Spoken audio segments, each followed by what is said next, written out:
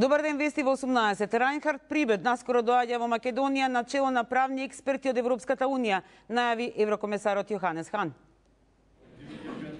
Еврокомесарот Јоханес Хан го праќа правниот експерт Райнхард Прибеда да дојде во Македонија за да помогне во спроведување на реформите од правниот систем.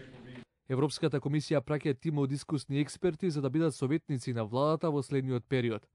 Во сообщението кое го испрати Хан стои дека Прибе со неговиот тим ке работат на спроведување на ургентните реформи кои се дел од Пржинскиот договор. Тимот на експерти за време на посетата на Македонија ќе имаат за задача да го скенираат целиот систем, да ги детектираат сите слабости. Европската комисија ќе постави конкретни рокови до кога треба да бидат спроведени реформите.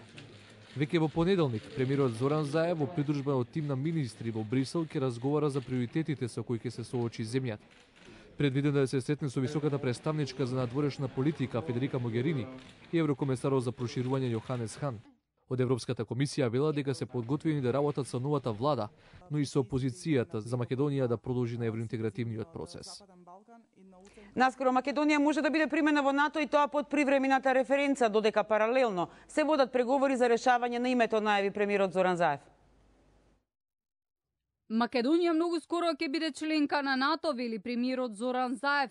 Според него, членството во Алијансата може да биде под привремената референца, а истовремено да продолжат разговорите за спорот за името. Прашањето околу името ќе го водиме на еден транспарентен начин, со вклучена опозиција внатре, одлуките ќе се носат заедно со опозицијата и ќе бидат конечни на референдум.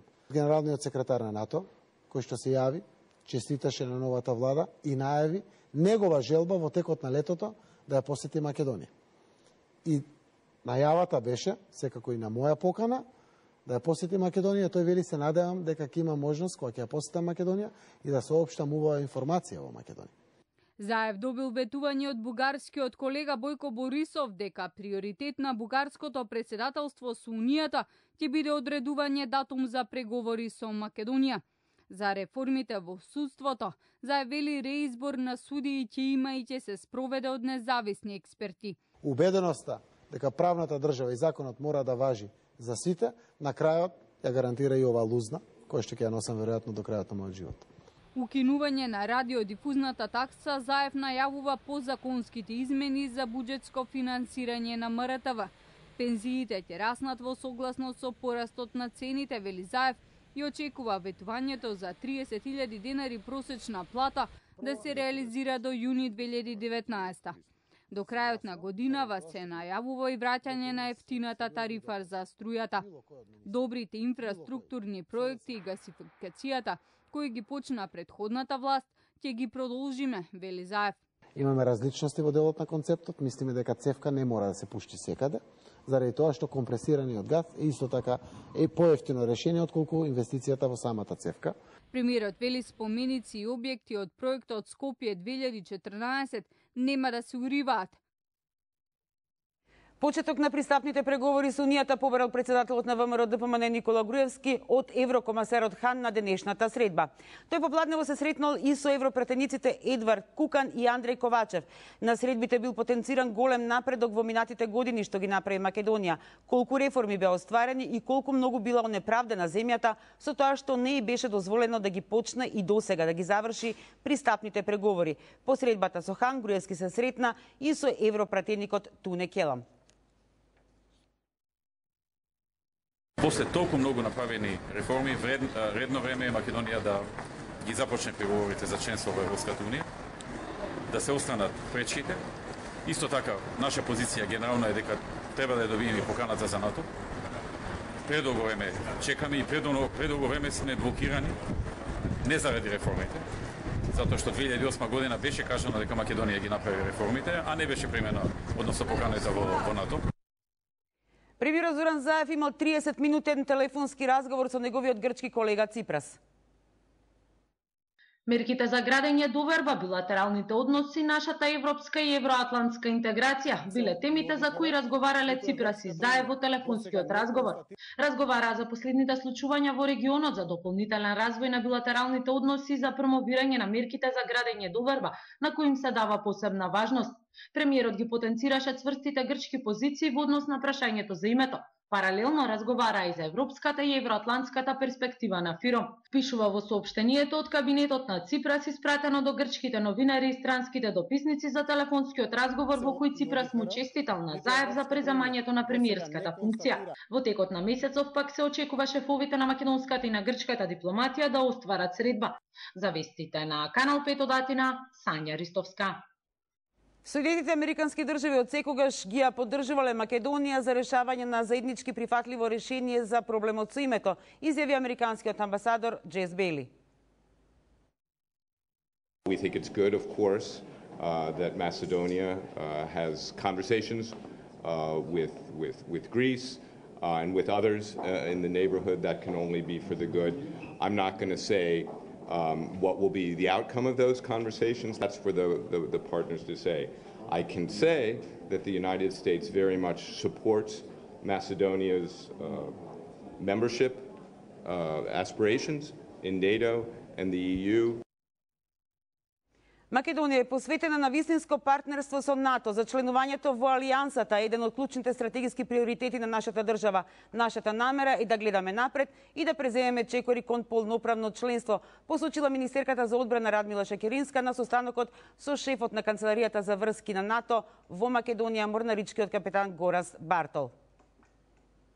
Владата на Зоран Заев е антиреформска, реагираат од ВМРО ДПМН на изјавите на премиерот Зоран Заев на вчерашното интервју на македонската телевизија. Зоран Заев, доколку е искрено загрижен за реформи во судството, треба првин да покаже почит код судската власт. Треба да почне да се појавува на судските рочишта кои се водат против него. Начинот на кој што Зоран Заев пристапува кон суштинските прашања е крајно несериозен и загрижува граѓаните од него не очекуваат лаги и манипулации, туку очекуваат да ги исполни ветувањата што ги даваше пред избори. Марко Зврлевски е перфектен новинител, рече председателот на Советот новинители Петар Аневски, кој информира и дека предлогот на владата за разрешување новинителот Зврлевски се уште не стигнал до Советот. Државниот обвинител беше перфектен до сега. Јас немам никаква забелешка од неговата работа. Никогаш не е брзам при донесување на некои заклучоци се додека не се види предмет или додека она што е упатено не го видиме изворно. Нема веќе патни трошоци за претениците кои отсуствуваат од комисиските расправи во собранието. Нова пракса во собранието. Сите што се на списокот за присуство, а не се во салата, ќе бидат пречкртани и со тоа нема да земат патни трошоци. Ова на дело го спроведе председателот на законодавно-правната комисија Петр Шилегов, кој најави дека во иднина ова ќе биде правило не можете вие да подпишете дека сте присутена, да не учествувате во работата на комисиите, а доаѓате некаде од надвор со цел да ја добиете дневницата. Значи, доаѓање на седници само за да се користат патните трошоци ќе биде една од кратењата кои што во блиска иднина ќе ги спроведеме како парламентарно мнозинство. Граѓанската иницијатива за зголемување на породилното отсуство од 9 на 18 месеци беше отфрлена со 9 гласови за на мнозинството и 5 против на опозицијата.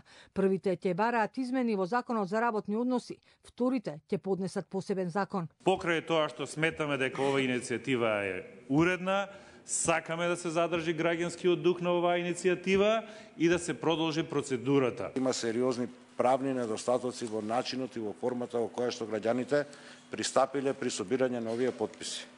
Граѓанската иницијатива 450 породилно е подпишана од 217 граѓани.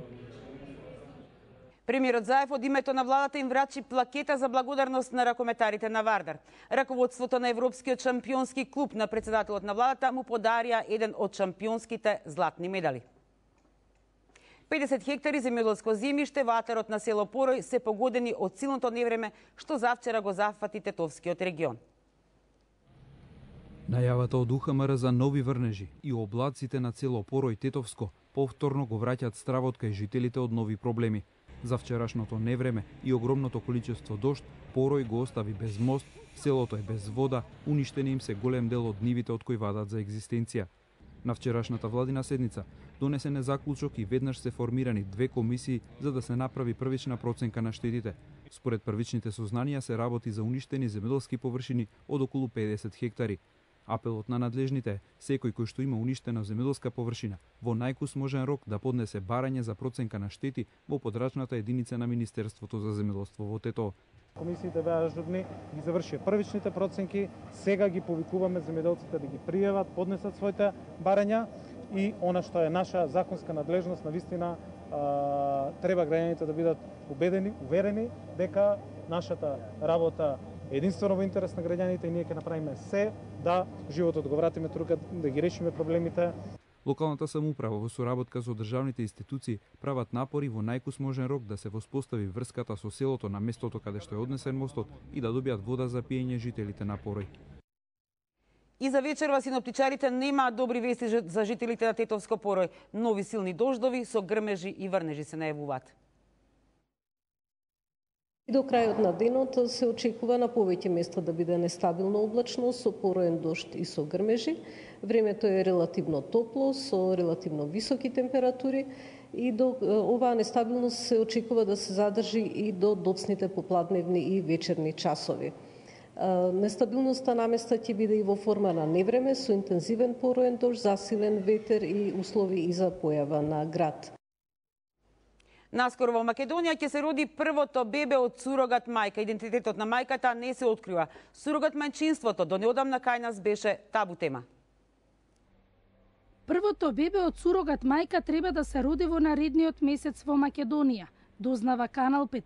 Заштитата на податоци толку дозволува за оваа информација, но веста дава надеж за оние кои сакаат а не може да родат. За сурогат мајчинството се зголемува интересот. Жилбата за дете ја победува природата. Доктор Глигор Тофоски од клиниката за гинекологија и акушерство објаснува дека многу жени, иако родени како жени, поради недоразвиеност на половите органи, не можат да станат мајки тие се пациентки кои што и генотипски и фенотипски се чувствуваат како жени, меѓутоа имаат недоволно развивање на внатрешните органи, значи имаат мала вагина која што е несоодветна за пропорциите, да кажам, кај нормално физиолошки развиена, а што е побитно за нив, фактички они имаат или недостаток или утерус кој што е комплетно неразвиен, значи се само како едни, да кажам, тракички од оно ткива што би требало да представува матката. 80 жени во Македонија живеат со ова генетско пореметување. Многу од нив размислуваат и за трансплантација на вагина. Првото бебе, родено по трансплантација на вагина, е во Шведска. Најчесто, тоа веројатно порано така се решавало, сега најчесто тие а, работи е најлесно да се решат со пат на сурогат мајчинство. Имало интерес од пациентките и за трансплантација значи на матка, меѓутоа таа процедура е многу комплицирана, со голем, да кажам, ризик од неуспех и таквата се уште не се изведува во Република Македонија. Во Македонија пред три години се донесе законот за сурогат мајчинство. Во Министерството за здравство отворен е регистар за брачни двојки, кои сакаат да се пријават за да добијат бебе преку сурогат мајка. Во Министерството може да се пријават и жени кои сакаат да бидат сурогат мајки. Продолжуваме со само вистина. Гости на Мирина Трпчевска се Мирослав Грчев и Александар Станковски.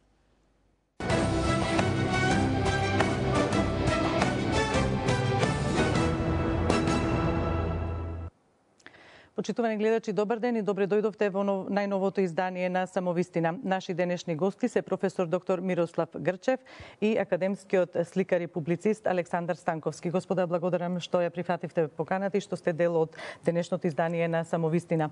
Во подготовката на оваа емисија денеска најдов на една вест која вака реков дека ќе ми даде добар шлагворд за оваа емисија, барем за низиниот почеток, а таа вест говореше и носеше една информација дека некој познат а, а, дизајнер на цвет летни аранжмани во Њу Йорк решил својот град да го разубави со тоа што во корпите за ѓубре ќе направи и ќе изведе огромни букети. Верувам дека таа вест може би не сте ја виделе, но дека го прошета светот денеска и сега за некаква си аналогија ако можеме овде кај нас нели да воспоставиме, а, а во контекст на тоа што ако се гледаат господине Грче вашите написи, вашите настапи, вашите колумни, испаќа дека нас и малку би ни биле а, оние холандски а, полиња со Лилјани за да го покриеме сметот во обштеството, она деградација на обштеството, нарушени вредности за кои што вие на вистина пишувате доста многу, користите многу метафори. А од друга страна пак господине Станковски ако се видат исто така вашите настапи, вашите ставови, позиции што ги застапувате, испаѓа дека и нашиот светен пазар ќе биде доволен за да се покријат некои аномалии во општеството, затоа што нема општества без аномалии. Секако да. Што мислите за ова? До толку ли е црна, црна работата, до толку ли е... Или розова. Или розова, да, тоа сакав да, да ве прашам. Знаете, ако одиме да ги гледаме луѓето или да ги анкетираме луѓето според она што тие мислат или како чувствуваат, ќе видите секако дека нашето општество е поделено и дека еден не беззначаен дел од него се чувствува задоволно и дека јава белкоњи за овие 10 години и повеќе, додека еден значителен јас би рекол многу поголем дел од обштеството смета дека е не само не е на Белкоњ, туку е оставено во калта негде во некој ендек на на ветениот пат за Европа. Така да она што јас секогаш се обидувам да го зборувам е да да го вградувам и да го ширам рационалниот, јас како што го нарекувам инженерискиот метод на гледање на работите. Да, значи да се пронајдат е, репери, материјални факти или морални, или правни, или било какви други е, рационални цврсти точки во однос на кои што ќе може да се вреднуваат работите. Во таа смисла, кај нас не само што не се доволни Холандија и другите гиганти за производство на цвеќиња, туку воопшто не е, не е тоа средство, добрата метафора за, како да речам, за соочување, анализа и за разрешување на нашиот проблем.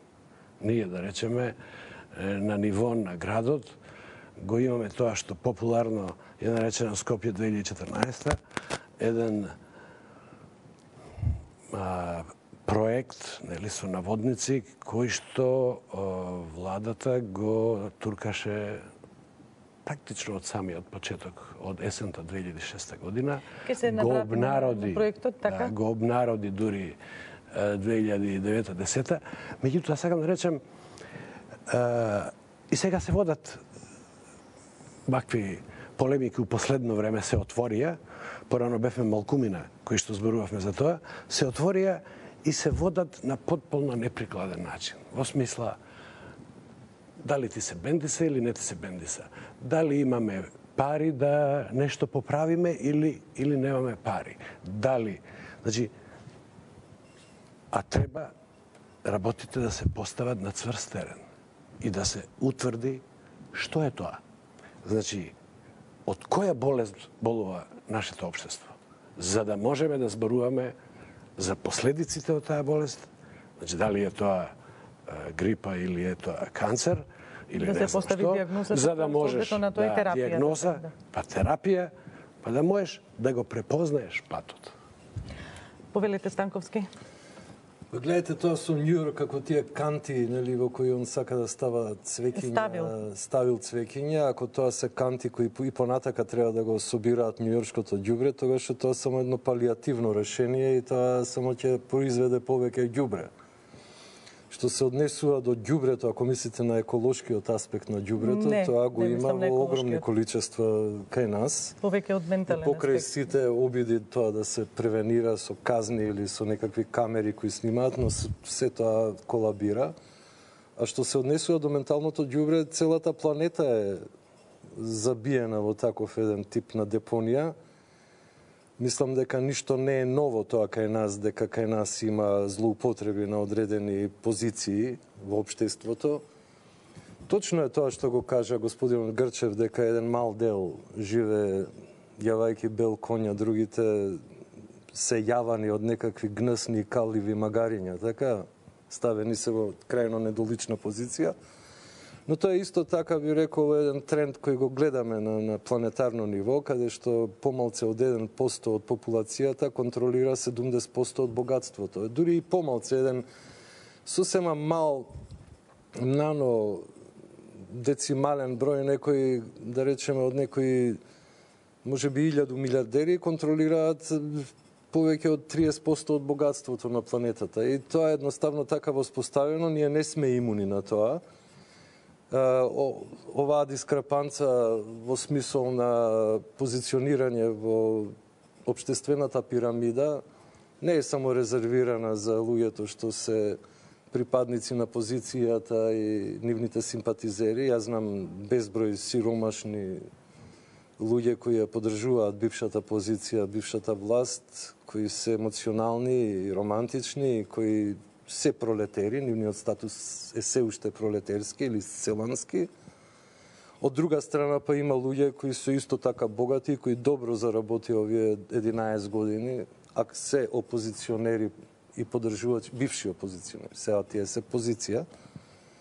Така да приказката е многу покомплексна отколку што на прв па- поглед може да изгледа, нели да не извлекуваме адхок некакви хипотези, нели, кои би биле паушални, затоа што е многу посложено сето тоа, но точно е дека еден мал број луѓе, еден сосема минорен процент јава на белиот конј, а другите го следат, нели, лазајки по калта како гмазови. Дали Од секогаш било така, не е само сега. Господине Станковски, важите за апологет на Скопје 2014 та проектот да. што го спомна и господинот Грчев. Дали ви олесна малку кога во синокешното интервју премиерот Зоран Заев рече дека нема да се руши ниту еден споменик од финансиски причини и ова. Дали ви олесна малку затоа што да. претходно да. слушавме некакви да, извици да, дека тоа све ќе се руши со копачи, со француски да, клучови, со медешка механизација. Тоа биле некои хиперемоционални реакции на господинот Фрчковски, главниот идеолог нели, на левицата во Македонија. А, тоа не го видов, значи интервјуто на, на господинот Заев, но го прочитав тоа колумната на господинот Фрчковски, тамо има во однос на мене две структури од кои првата, првиот дел, иако не би се мешал во тој сектор каде што тој пишува за образованието, тоа ми е далечен момент. Никогаш не сум бил во академските структури, нити сум работел како едукатор. Веројатно господинот Грчев може повеќе да каже како професор на факултет. Што се однесува до тоа рушење на споменици, тоа верувам дека тој импулсивен и емоционален човек, нели господин Фрчковски тука се уште влече еден момент. Не, не е присутен, но има, меѓутоа да, кажав како идеи кои па, што да, постоеле дека не бил само па, професор да, Фрчковски, имало и други. Него дезавуирам, само го анализирам и господинот Заев не е присутен. дека треба све да се срамни со земја. Па добро и господинот Заев не е присутен, па збориме добро, за него. Така, да, сепак е он премиер и синоќа даде интервју. Ова ме повлече, тоа не го гледав интервјуто, за жал или за среќа, не, не е битно. Нема ни одеци, не гледав вести денеска, така да не знам што и како. Ако така кажал, тоа е окей. Меѓутоа сакав да кажам дека таму во тоа излагање, во тоа експозе на господин Фрчковски има две брилијантни работи, тоа се на крај. Тоа е легализирање на проституцијата и декриминализација на лесни дроги. Тоа е многу умно од страна на професорот, тоа требаше и ВМРО да го направи многу одамна од X причини, без некој конзервативизам, и најконзервативните обштества тоа го регулираат на таков еден либерален начин. Легална проституција имала уште во 17 во 18 век, така исто што се однесува до другите, хајката почнува негде 30-тите овој минатиот век во Америка. Познате тој таа афера Сан Франциско Сандейс и Милтон Хърст и сето тоа, тоа се познати една теорија на конспирација стриктно се бави со тој проблем, со купување на страна на, од страна на хемиската индустрија Дипон на шумите во Бразил и поради тоа што требало да се преде од хартија од добивано од канабис на дрво, тие лансираат една страотна конспиративна ситуација со многу клеветење, каде што велат дека е црното население пушело марихуана и станувало агресивно и силувало бели жени. Тоа не е точно. Тоа едноставно не е точно. Марихуаната ги пасивизирала. Тоа што они пушале марихуана, тоа се случил блузот и джезот. Тоа е резултат на тоа пушење марихуана. Подосна и рок н рол. Апсолутно. Да. Така да тоа е една една кампања направена во општеството во Америка за да се изгонат значи да, да се уништи канабисот, да, да едноставно да предат на ефтина експлоатација на шуми во Бразил, а знаеме каква еколошка катастрофа направија со тоа. Од тој аспект, еве, тој последниот сегмент на господинот Фрчковски е одличен. Тука ќе има огромен профит, нели? Посебно што тимот на господинот Заев не е баш многу компетентен за привлекување странски инвестиции. На овој начин може би една милиарда долари ќе влегуваат од туризам од таков дрогашки проститутски туризам. А што се однесува на господинот Заев, само да го довршам ова, тука го поздравувам тој тип на решение затоа што ние не треба да рушиме нешто што е направено. Само треба да градиме и а, да се поставуваме како естети компаративно визави тоа. Сега он ја има власта, како структура, нели, како коалиција, еве шанса Скопје изобилува со ледини огромни. Значи тоа е неизграден град. Еден град голем од прилика милион луѓе и може би и повеќе колку што дневно се наоѓаат во Скопје, не може да има еден центар како град од 50.000 жители. Тоа треба најмалце 4-5 центра да има. И уште така неколку да, Скопје 2014 или 2017. Еве шанса 2020, на пример, архитектите што гравитираат идеолошки околу С, СДС и нивните нели трабанти во, во, во оваа коалиција, аншанте, направете нешто Тоа е најдобар начин за македонската нација и култура и воопшто за општеството да иде напред. Еве шанса они да добијат проекти и да се покажат како така. Господине Крчев, Скопје 2014 не само како проект со споменици, меѓутоа за она суштината, не појавното, меѓутоа не формата, туку суштината. Суштината на тој проблем, тоа не е проект, тоа е проблем, е што е тој како и разни други ранички или појави на кожата, е само симптом на една длабока системска болест на целото општество, која што само избила на виделина и може да се гледа. Се гледајте, како симптом, кој треба да, едно општество развиено, со кадри од сите области, кој треба да се произнесе кој треба да го испита, кој треба да каже за каква болест се работи. Професионалците. Значи, тој проект произлезе со измена на урбанистички планови, со, потоа го следеа измена на а, прописи и закони, па влезе во игра целата таа градителска диареја, што се случи, Меѓутоа, ни во една фаза, ни во една фаза, во, значи, во фаза на замисла, во фаза на планирање, во фаза на проектирање, архитектонско, во фаза на изведба, во ниедна фаза не излезе а, пред стручњаците, пред фелите, значи градежна фела, архитектонска фела, урбанистичка фела, потоа тука се фелата на историчарите на уметност, тоа е фелата на конзерваторите и како ги викаме ние заштитарите на недвижното наследство.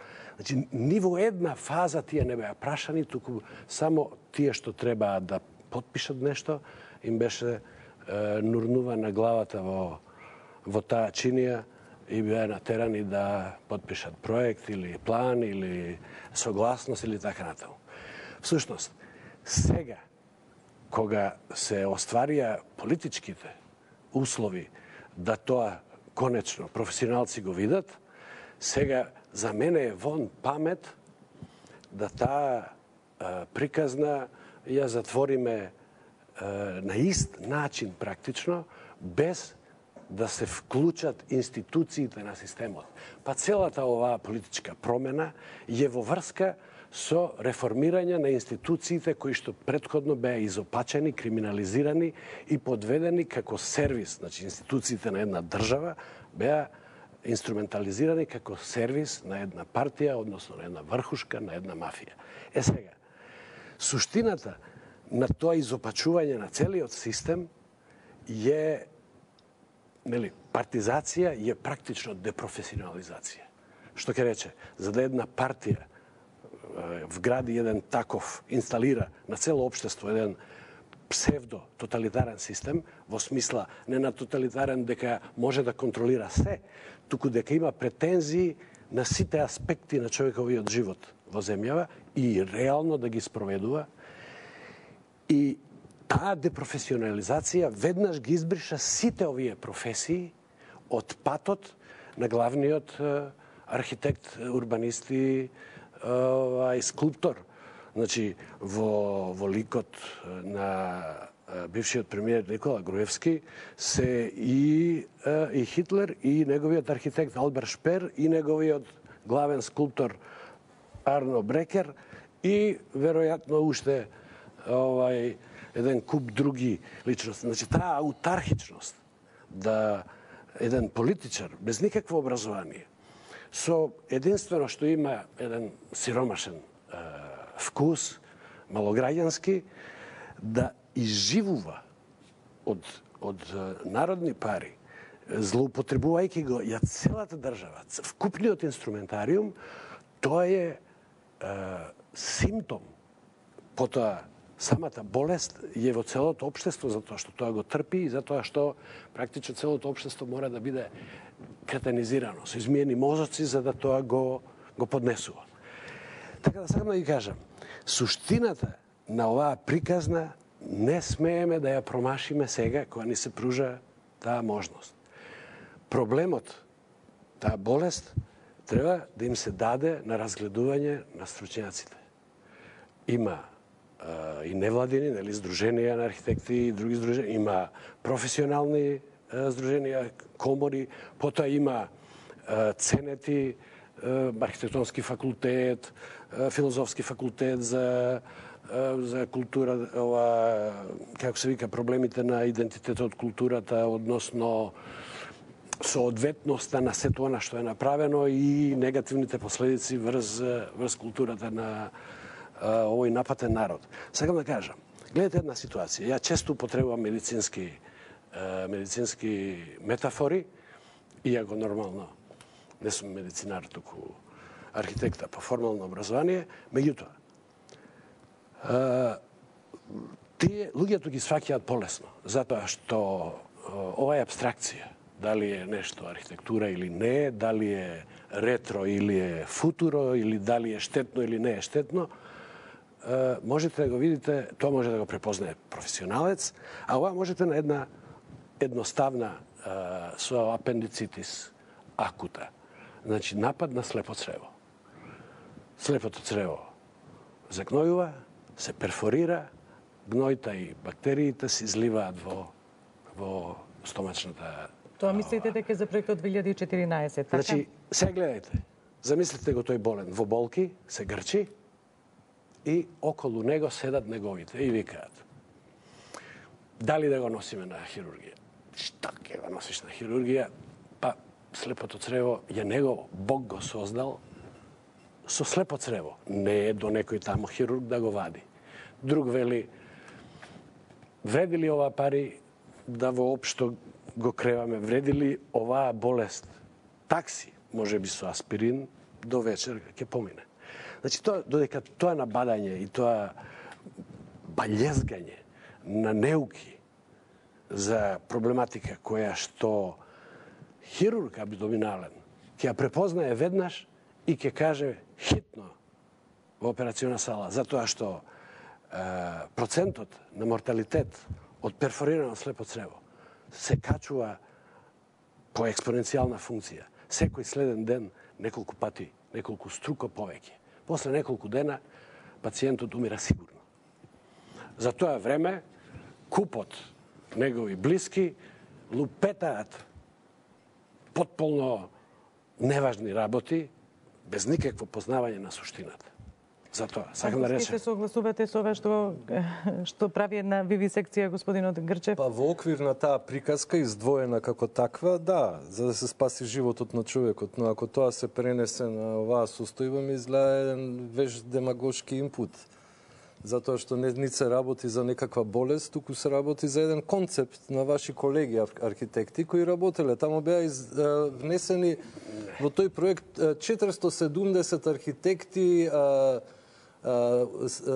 скулптори, други уметници, тоа е огромна бројка, тоа е масовен проект, проектот 2014. Тоа лично министерката го кажа, мислам, за култура. Кажа и многу своевремено, да. да не значи дека е вистина. Таква па добро, еве, нека не се 400, нека се 200 или 300, тоа е огромна бројка архитекти си, да тие се луѓе едуцирани кои имаат одредени афинитети. Сега ако да речеме ВМРО као проконзервативна, романтична, да речеме партија сакала да го импутира оној дел од македонската култура кој ние го неаме, па како таков е многу екзотичен и посакуван од одредени структури во обштеството, во граѓанството, нели, ние имаме пропуштено 500 години европски културен епоха, една еден тренд културен кој се развивал, кој има многу слоеви, кој има многу стилови.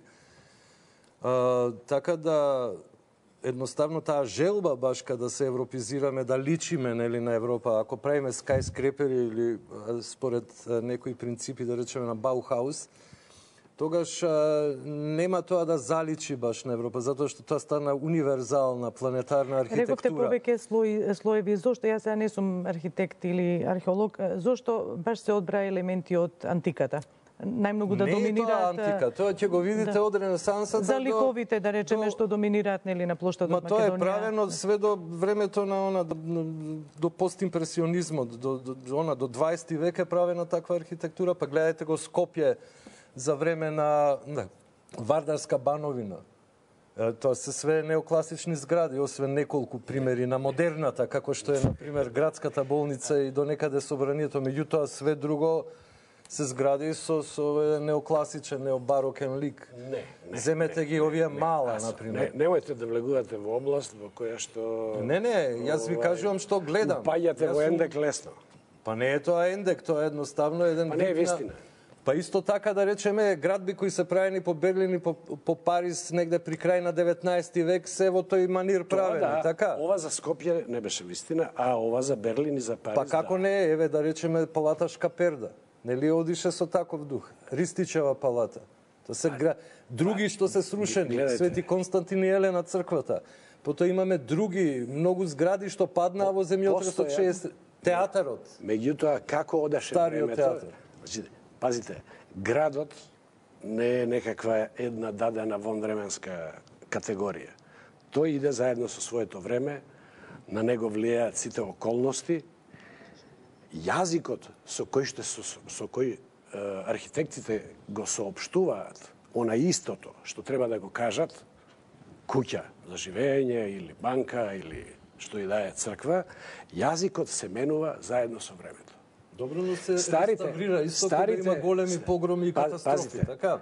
Еве, на пример, сетете се на Варшава, на Дрезден, на, Се- се на Кел, да речеме, на Франкфурт, на Лондон, постоја. кога бил избор, избомбардиран. Значи, Санкт Петерсбург. Потполно е неспоредливо, затоа што овде се измислува перверзна, никогаш постоечка, потполно неписмена.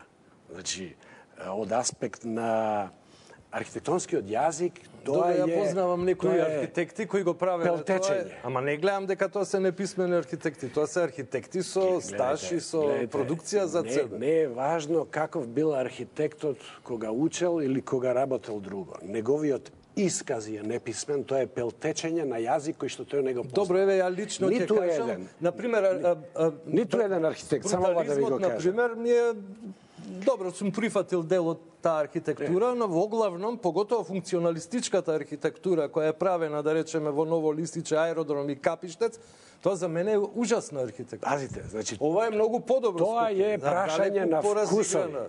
Овде е прашање кога го закачивме јазикот на елементарна писменост, затоа што тие што ги ставаат столбовите и овие декорации, ги зимаат со копи-пейст од, од, од интернет, не значејки го значењето. Тоа вие као да ви даде некој, тоа сто пати сум го кажал, да напишете нешто на кинески, а не знаете ни буква да препознаете, не, знаете, не го знаете ни јазикот. Меѓутоа, поентата ми Добро, тоа е цитатолошкиот пристап на постмодерната. Тоа може да го гледаме баш во тој контекст, Дали, анахронизам. Пазите, за да ставате цитати иако постмодерната и оваа перверзија немаат допирни точки. е сосема отворена за сите може Немаат допирни точки, за да правите цитати треба да, да имате писменост да ги прочитате и да им го знаете значењето за да ги ставите во контекст. Овде се работи за нешто сосем друго. Значи, од архитектонска гледна точка, и ја инсистирам на тоа. Доискажете се овде, Тие- треба да повикам Да. пауза за реклама. А, сите, не сите згради, Грчев, сите згради, Господин Станковски да. спомена дека околу Пазите. 450 архитекти Значи, биле архитектурски- Тие се сите Не, неписмени. не, не е тачно. дизајнери. Не, не, не, не е точен. Но тоа е официјално соопштение. Е, официјално Еве лага. нека се 20. Па не да го се ни смалиме шест. број. Не се ни шест, колку да ви кажам. Значи, инсистирам на тоа дека во областа на професијата архитектонска, ова е злостор, неписменост и атак на фундаментот на професијата. Меѓутоа, она што ми е мене многу поважно кога зборуваме за Скопје 2014 е дека тука воопшто не се работи за архитектурата и архитектонската професија ова се само а, искористени, односно злоупотребени архитектонски средства да Груевски и фашистичката ВМРО ја искажат својата тоталитарна и авторитарна порака на севластие. Мислите дека е тоа така, ако може смешна кратко, кратко, ако може да одговорите, треба затоа што една банана Пауза за република реклами, што е да. како Македонија која никогаш на никој не му рекла не, кој е посилен од нејзе, да генерира такви системи како што е нацизам или фашизам, е, фашизамот е и дури гротескен и комичен, но нацизмот, тоа може само една нација која има огромна сила, од каде доаѓа една визија за нејзе, со едно хиперего, така, да го спроведува.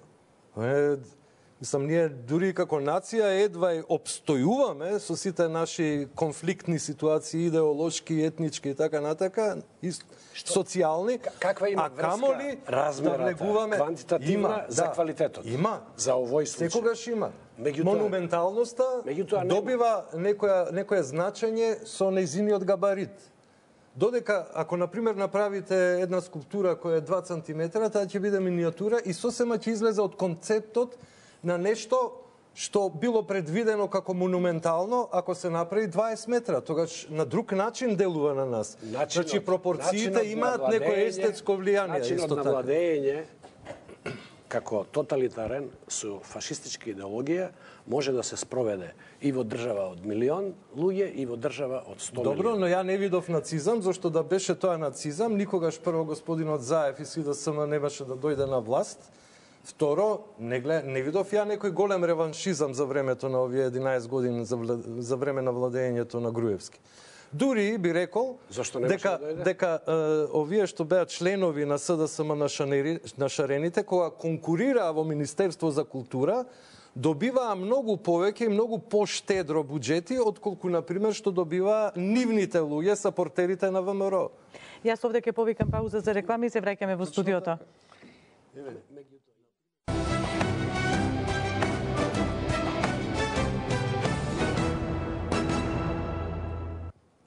Почитувани, продолжуваме со самовистина, гости професорот Мирослав Грчев и а, академскиот сликар Александар Станковски. Господа, вчера ќе искористам уште една информација од интервјуто на премиерот Заев во контекст на ова ние што го разговараме, а се однесува на тоа дека кога ја отвориле државната каса во преносна смисла на зборот биле најдени 300 милиони евра што биле како алоцирани или планирани за промена на фасади. Станковски, располагате ли со таква информација кои фасади требало да се Не. направат Не, не. со толкави големи средства? Не, поима неам за тоа, нити за било што друго од ова. Значи не сум учесник во проектот 2014, али го бранам. Ете и некои политики исто на ВМРО ги бранам, некои ги критикувам, но во секој случај се веројатно виртуелни пари, затоа што нели се збореше за тие 180 милиони евра, па 50 милиони за селаните за субвенции, па останале 130 милиони, но Еве, господинот Заев вика 6 милиони само останале, некои термити може да ги изеле тие 120 и кусур милиони, така.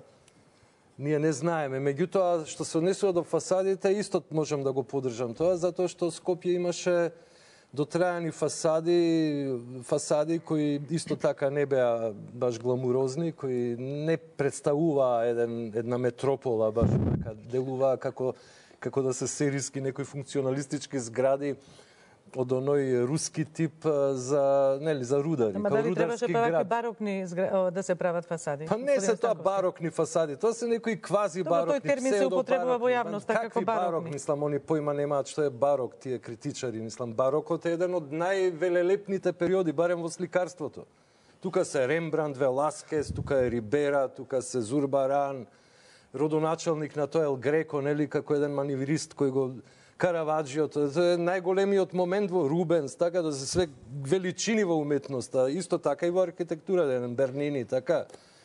Но во секој случај, тоа е еден псевдобарок, еден копнеш, една желба да се симулира еден период или повеќе периоди, 500 години, викам, има дупка, за да се личи на, на нешто, на некој европски аутфит, нели, во смисол на урбанизам. Дали е, е европски аутфит, господине Грчев? Мора малку да бидеме барок, да бидеме да многу по побрзи. 20 години ВМРО да владее за да се види некој европски тип на Треба аутфит. човек овај да да има многу како да речем бујна фантазија да не идам во на обратната страна за да може ова што се случува, што се случило во Скопје 2014 од, од архитектонски и урбанистички и секаков друг аспект да го поврзе со Европа на било кој начин. Пошто да, тоа не е барок, меѓутоа не е ништо што има никак некаква врска со архитектурата. Тоа е перверзија, тоа е насилство кое што само символички било искажано во градежен материјал. Значи, да го вреднувате од архитектонска или уметничка некаква евалуација да правите на овие дела е исто, велам споредбено исто во смисла на аналогија, како да ги користите и вреднувате научните дострели на медицинските експерименти на доктор Менгеле во Аушвиц, каде што експериментирал на живи луѓе и, и зад своите експерименти оставал купишта на лешеви. Значи, тие лешеви и тие малумни Зошто господине Грчев го споредувате тој период со овој сега период толку ли е страшна работата? Структурата на на случувањата. Значи не зборам ја дека овде некој убивал а, активно во концентрациони логори. Давам аналогија дека еден инаку пред војната блескав лекар и истражувач доктор Менгеле кога влегол во служба на таа убиствена машина ги направил најголемите злостори против човештвото во Белмантил. Од кога завршила таа приказна, од кога настанала денацификацијата, никогаш неговите е, записи за извршени експерименти не се вреднувале во е, медицината како нешто што е факт медицински или научен. Истото Ја гледам таа забуна во јавноста заради тоа што премногу малку има професионалци за да го кажат зборот за а, архитектурата во наводници или во не знам какви перверзни знаци за да ја кажат таа перверзија. Значи тоа не е архитектура воопшто. Затоа што јазикот со кој што е, е искажувана не е архитектонски. Оние што го правеле не го разбираат самите. Значи тие пелтечеле на јазик што не го знаат. Затоа е таа забуна и со барок, не е ни псевдобарок, не е ништо. Франкенштайн барок, не знам што е. Сега да речем, овде на ист начин, како со злосторите на доктор Менгеле, и тука се работи, уствари, за злостор против македонската култура, против македонската држава, против македонскиот народ, против јавниот интерес и јавниот простор. Значи се работи за тежок криминал тој криминал не се однесува само на директно на парите што се украдени и испрани преку прескапи е, хонорари или прескапи згради кои што ги надминуваат е, тендерските е, суми и сите што знаат нешто за архитектура и за градежништво знаат дека се е, премавнати по својата цена не по дупло или трипло, него по 7 и по 10 пати, значи до 1000 посто иделе. Не алудирам на вас, господин Станковски, сметате дека толкави големи хонорари биле земани? Не алудирам на вас. Значи, еве, јас ќе ви кажам да речеме, да. тоа е чиста располагате со конкретна информација за тоа. Еве да. чиста, чист податок. Зградата на Уставниот суд, односно Археолошки музеј, односно не знам што све не е стрпано внатре. А, значи сега само од тој аспект, од финансиски криминал, во тендерската документација е 6 милиона и 400. Тендерска документација се прави според основен проект со сите разработки со предмери предрачуни. Значи, тоа не се прави како проценка. Ајде, колку ќе чини ова, па ќе чини 6,5. Не, него се прави со попрецизна изведбена документација, проектна во која што стојат спецификациите на сите материјали. И сега, Законот за јавни набавки, кој ги штити јавните пари, вели сумата и договорот според тендерската документација може да се надмине само за, не знам, беше 20, па 30, па пак 20, може да се, значи за 20% на име на анекс договор. И потоа не може ни со анекс договори. Овде се направени 100 анекс договори и последната сума е некаде околу 46 милиона. 46 милиона. Значи, скоро 8 пати 800%.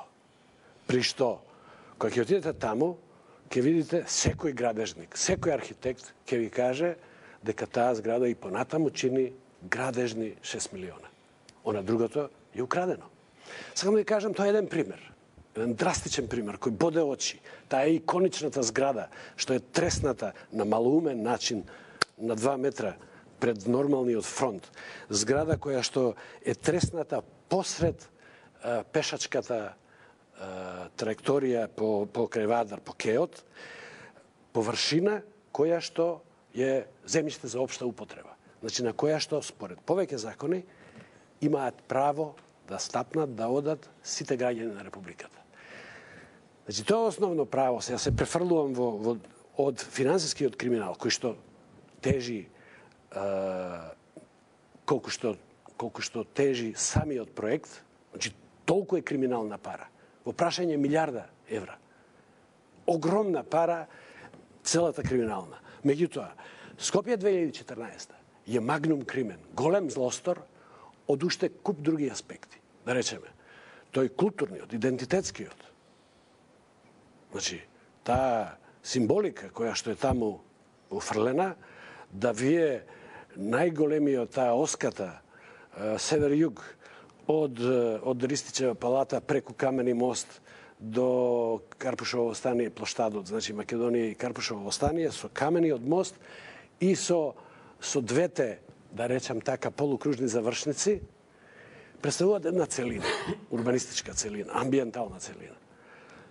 Целата таа е сега оска посветена на хеленизација на македонскиот идентитет и македонската историја. Значи, Дали е така Александар, што мислите? Александар Македонски, да, да, да, да, затоа после сакам мајка му Олимпија, да, да, и уште, Повелете сега вие. и уште Да. 100 други становници, жители на Олимпи и на, на грчката хеленистичка историја.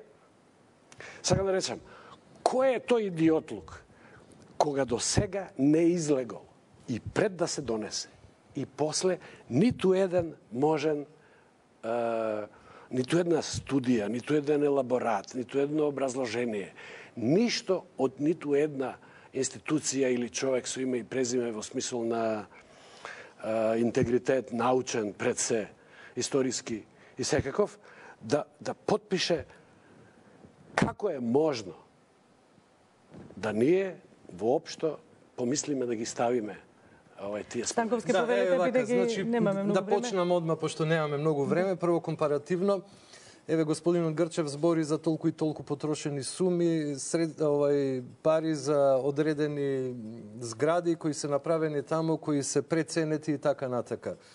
А, јас би го прашал што се деси во, во, во времето на владењето на СДСМ, каде што а, ништо не беше изградено, ама баш ништо од овој тип, значи некоја институција, некоја зграда, повидна зграда, значи зборам од 91 натака, не зборам за време на социјализмот и пред тоа, каде што имаше голем градителски бунт, бум после 63-та година, нели? после земјотресот, но овде видовме, значи од 91 ништо не е изградено, а парите исчезнуваа како во жив песок. Значи овде и да имало такви ситуации, барем имаме некои артефакти, некоја култура која е изродена. Таква, каква, вие едноставно ги гледате нив како нацисти, но мене воопшто не ми се нацисти. Ја мислам дека тоа се демохристијани кои се прилично толерантни и кои благодарејќи на својата толеранција претрпеа незаслужен дебакл на политичката сцена. Значи, со помош на меѓународната, на сила беа гнетени сите овие структури кои денеска владеат. Но еве да се вратиме на овој момент. Тоа е тој капацитет што ние го имаме. За жал, ние, освен некои, да речеме, помали згради, помали објекти, не видовме монументален објект изграден во времето на СДСМ.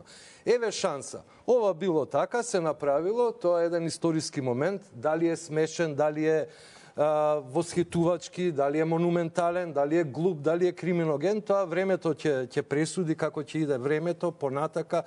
Имало такви периоди во историјата на уметноста, еве да се сетиме на, на Минхенс во времето на Лудвиг Велики, така он копирал, ја копирал Атина и Рим и, и правил таму у Минхен ствари кои врска немаат со нивната готика или со нивната етногенеза културна. Во секој случај тоа би сакал да го потенцирам. Значи, направено е нешто, сакам да го гледам како период.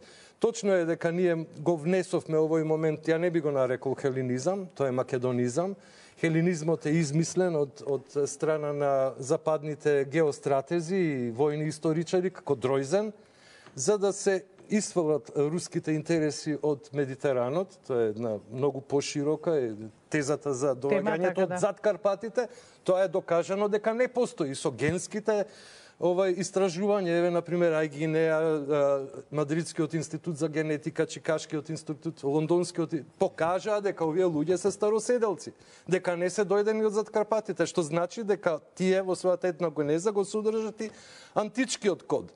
И културен, и тој генец, генетско наследство од тие луѓе, све е тука едноставно. Зашто ние да се откажеме? Па ако ние се откажеме од античка Македонија, ние се откажуваме од Македонија.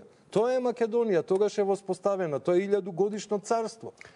Не го гледате нацизмот, не го гледате нацизмот, а ја зборувате за најнацистичката теза за крвта и земјата која што постои. Не, не зборам за крвта Значи, и теза. кр- и, и, крвта е- и земјата. Не зборам за тоа. Точно Баш за тоа јас сум го проучувал нацизмот и не е точно дека генетски нацизмот е- наследници и заради тоа нели се Ја ќе ви повлекува кажам право дека еве Викторијанска Британија има 10 пати поголеми погроми праено и уништување на луѓе отколку Хитлерова Германија.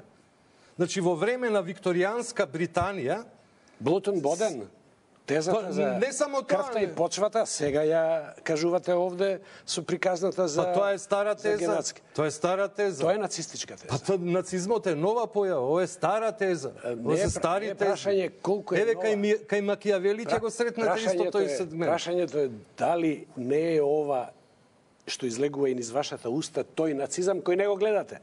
Тоа Затоа не е нацизам. Чим е, кажав- чим е зад вашите очи нацизмот, не можете ни да го видите. Ама нацизмот не може да биде, ви кажувам, изграден во, во, во нација која била 500 години роб и која едва и може да се состави денес. Испадна и која има може. Па не може. Еве ние Може да има тертури. Еве, на пример, црвените кмери извршеа големи тортури, но никогаш не покажаа некои нацистички тенденции. Во Сталиново време се направени страотни тортури. Еве, денеска го имаме, да речеме, и Ким Джонг Ун. Он, значи, владее со тотален, она тотален тип на диктатура и на тоталитаризам, но не можеме да кажеме дека тоа е не- некој нацистички филм. Нема, ама тоа е комунистички тоа е се- филм. Тоа е тоа е неписмено. За да има нацизам или фашизам, мора да има капитализам. Така да кај нас не може да се прават споредби со со левите Па, етатизми. на пример, тука не се работи за капитализам. Токму Хитлер е еден од најголемите непријатели на империализмот. Тој говори за национал социализам.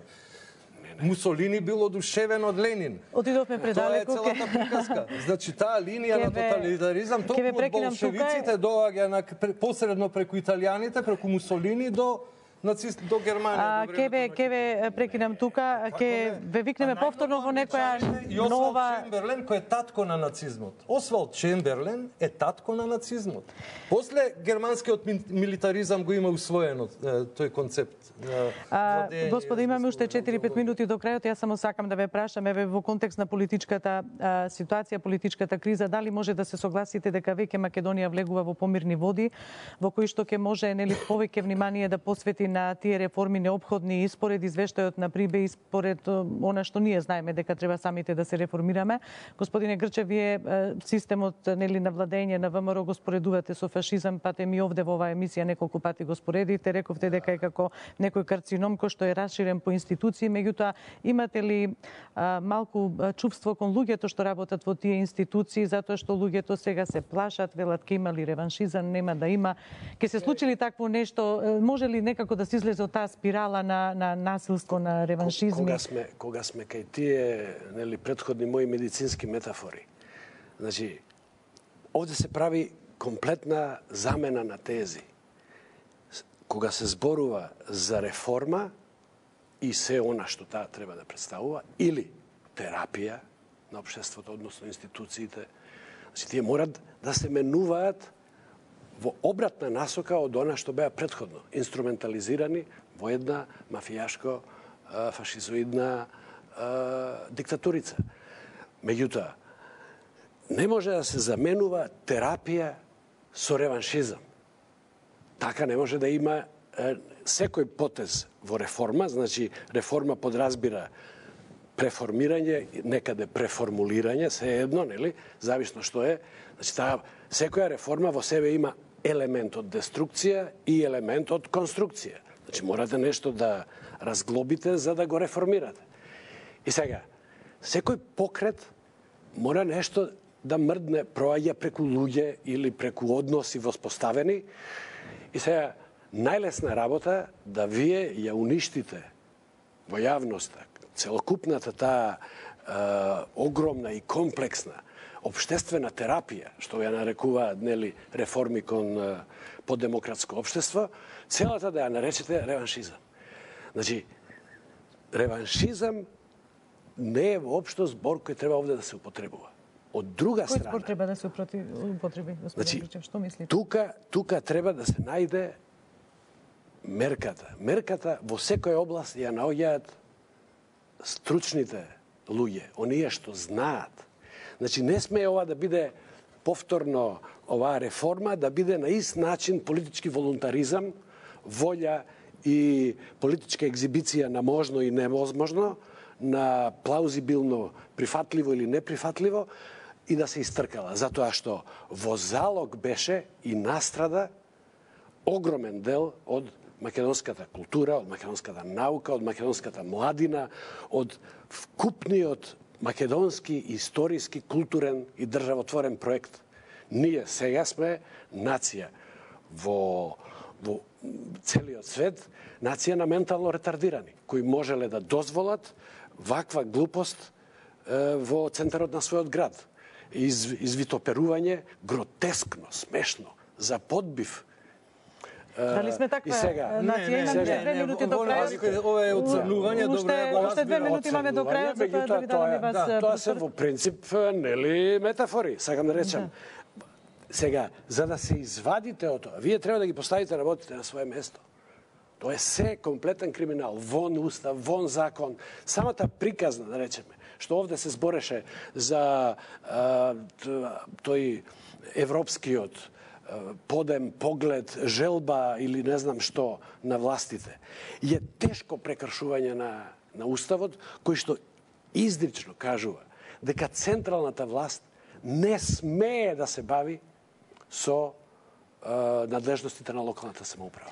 Е, вака, Станковски повелете, значи, имаме уште не гледам дека, минути, да. дека има било какви тен, тенденции кон реформи, гледам само опортунизам на сите нивоа, секој против секого. А, исто така гледам а, како длабоката држава, тоест тој империалистички фактор кој доминира во западната хемисфера, прави што сака, си игра, експериментира со нас од вакви политички, социјални експерименти, идеолошки експерименти до кемтрейлови со кои нели исто со ефтини седативи во Лондон, во во водоводот пред 15 години најдоа огромни количества прозак, тоа е све наменето за сиромашните, да не се бунат, да бидат она успани, да бидат зомби. Ние не ни знаеме што се случува.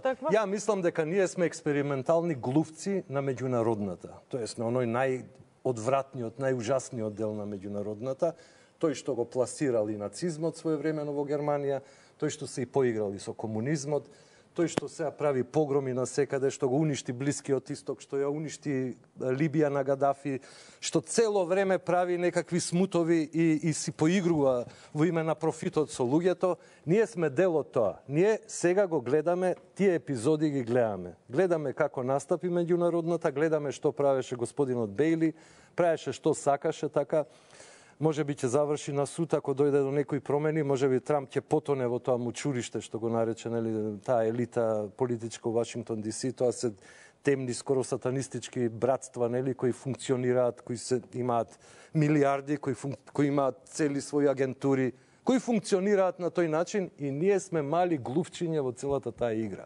Е сега глувчињата направиле неколку палати. Ама ве молам кратко да затоа што сме на крајот. Глувци сигурно да. не сме, али испаднавме глупци затоа што дозволивме една клика мафијашка, провинциска, мала, да завладее на еден потполно недемократски начин, за да владее со земјава, да ја искраде, да ја искривоколчи, незината позиција и погледот кон неа во целата меѓународна заедница, во целиот свет, да ги уништи внатрешните придобивки на соживот по секој основ.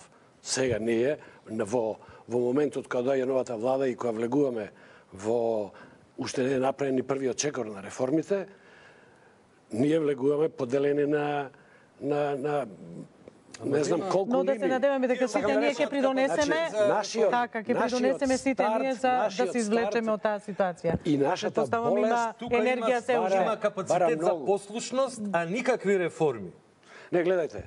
На крајот сме на емисијата. На крајот, јас јас повторно ќе ве поканам во некоја наредна емисија. Сакам да кажам, ние сме за голема обнова.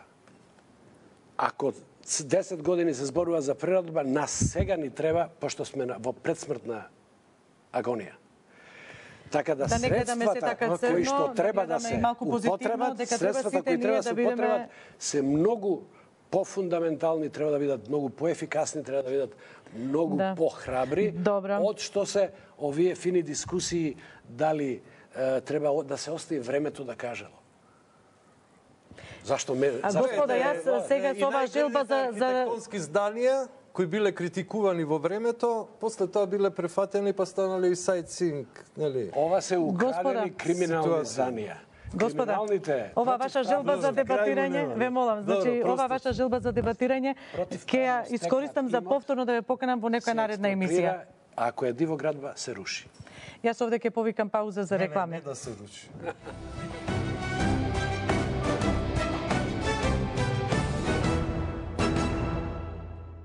Продолжуваме со вестите во теке третата владина седница што почна во 18 часови и 30 минути. Според сообштенијето владата расправа за преземање соодветни мерки и активности за заштита од настанатите штети во поплавините подрачја во Порој Тетовско. Да престане изградбата на експресниот пат кон Свети Наум како и ски центарот на Галичица, за да не се доведе во опасност статусот на Охрид, се наведува во денешниот извештај на УНЕСКО. Државата веднаш да ги стопира проектите за ски центар на Галичица и експресен пат кон Светинаум, стои во извештајот на УНЕСКО кој е објавен денеска. Македонските власти треба да ги разгледаат опциите за екотуризам за да ги зачуваат заштитеното природно наследство, советува УНЕСКО. Мисијата 2017 заклучи дека дел од предложените големи инфраструктурни градежни проекти ќе доведат до неповратни промени во заштитеното природно подрачје. Пораката е јасна до 2019 да се испечитуваат препораките во спротивно Охрид ќе се најде на листата на светско наследство во опасност.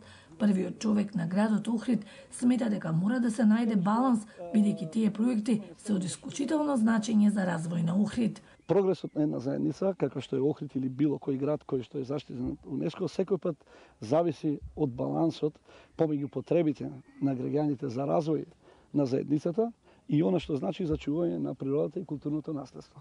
Значи, ние не можеме ниту само во една насока да се движиме, ниту пак само во друга насока. Секогаш прогресот на општеството е дефиниран од баланс на двете работи. Според експертите на УНЕСКО, големите проекти ќе го нарушат биодиверзитетот, но и ќе ја загадат водата. Ние сме свесни за сите оние ризици кои што може да настанат при изведување на секој еден проект. Знаете дека тие се проекти од државно значење, не се проекти кои што влегле во програмата на локалната самоуправа.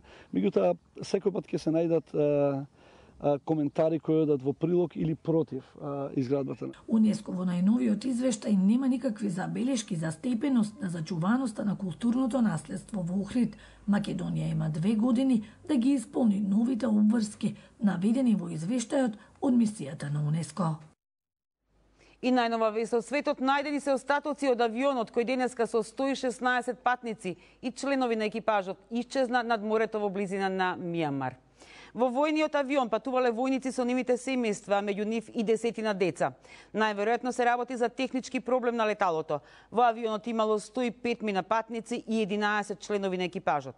Во тек е акција за пронаоѓање на авионот кој во моментот кога исчезнал од радарската контрола летал на височина од над 5000 метри. И покрај тоа што во Мијамар во тек е сезоната на монсуни, нема извештај за невреме во регионот каде се изгубил авионот. Се уште не се соопштува можната причина за падот, освен дека авионот бил нов со поминати околу 800 часа лет. И тоа беше последната информација во вестите. Имајте пријатна вечер со Канал 5. Следното информативно издание е во 22 часот.